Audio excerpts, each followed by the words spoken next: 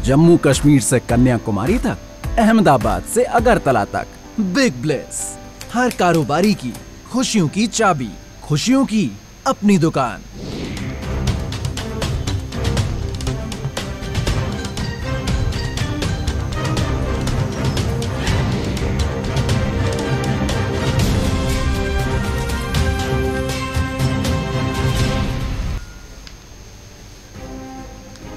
भारतीय किसान गेहूँ की अपनी नई फ़सल को राज्य के भंडार के बजाय निजी व्यापारियों को बेच रहे हैं।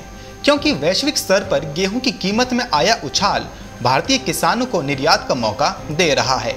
यूक्रेन पर रूस के आक्रमण के बाद मज़बूत मांग का मतलब है कि उत्पादकों को उनकी फ़सलों के लिए अब तक की सबसे अधिक कीमत मिल रही है। साथ ही राज्य की अनाज खरीद एजेंसी पर दबाव भी कम हो रहा है। अच्छा समय आ गया है। क्योंकि पवार और उनके साथियों ने रिकॉर्ड गेहूँ की फ़सल उगाई है, जिससे उत्पादकों को अनाज बेचने का यह बेहतर अवसर मिल रहा है। एमएसपी का ज़िक्र करते हुए उन्होंने कहा कि वैश्विक कीमतें अब तक के उच्चतम स्तर पर हैं। लंबे समय के बाद व्यापारी एमएसपी से अधिक भुगतान करने के लिए तैयार हैं। एमएसपी पर भारतीय खाद्य निगम यानी कि एफसीआई किसानों से अनाज खरीदता है। भारत के गेहूँ के बढ़ते निर्यात ने हमारे जैसे किसानों की काफ़ी मदद की है। किसानों को काफ़ी अच्छा रिटर्न भी मिल रहा है।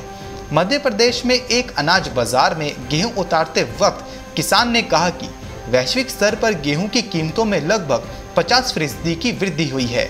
इससे पहले भारत को अनाज के निर्यात के लिए संघर्ष करना पड़ता था, क्योंकि एमएसपी में वार्षिक वृद्धि ने भारतीय गेहूँ को दूसरों की तुलना में अधिक महँगा बना दिया गया था। लेकिन उच्च अंतर्राष्ट्रीय कीमतों, लगातार रिकॉर्ड फ़सलों, डॉलर के मुकाबले कमज़ोर रुपये और बेहतर आंतरिक रसद के दुर्लभ संगम ने भारत से शिपमेंट को आकर्षक बना दिया है।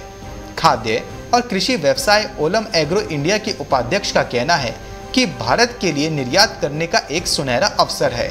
भारत ने किसानों से रिकॉर्ड तिरालीस दशमलव तीन चार मिलियन टन गेहूँ खरीदने के लिए आठ सौ छप्पन अरब रुपए खर्च किए हैं। Bureau report, market times, TV. देश के हर छोटे बड़े दुकानदार स्टोर मालिक को बिग ब्लेस देता है। खुशियों के वो पल जिनका हक है आपको।